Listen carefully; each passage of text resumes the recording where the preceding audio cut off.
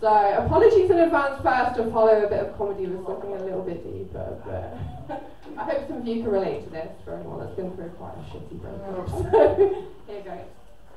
So this one's called Big Shoes to Fill. So what is the plan now then? Do I curl up in a ball and hide into my bed because I can't get the thoughts of others to escape from out my head? I'm a lover and a planner, and now you've thrown a spanner in the works, but it does not work. You've twisted my lace into knots that I can't undo, and I'm confused and stuck in these mismatched shoes. And you, we were meant to be a pair, but now I tread in uncertainty, and life without you became lifeless, and people tell me to worry less, but they do not see how I spend all day rewatching the same comfort shows to keep thoughts of my new future at bay.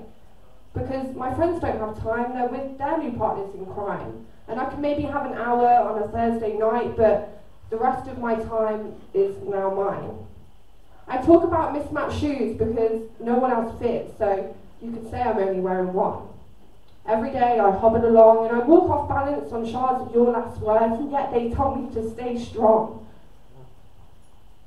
Across the sea I drag my lonely soul, hoping that I can find my definition of whole. It won't be long, they say, to find a shoe that fits and that will stay. I know that one day, but this day, this day is infinite and so will be tomorrow. Try not to wallow, but Friday and Saturday and Sunday are all the same and your new shoes are to blame. You don't see the cloudbursts and the grey days, and I drown in the puddles that show me my sad reflection, and I realise I am just a fraction of the sunshine I used to be. We were identical, you and me. No point in having one without the other. Situationally woke, but still I suffer. But right now I live with the pain and the rain, and I wait because my new shoe's not ready yet, and this other foot sock is getting wet. But you don't care. You've got a new pair.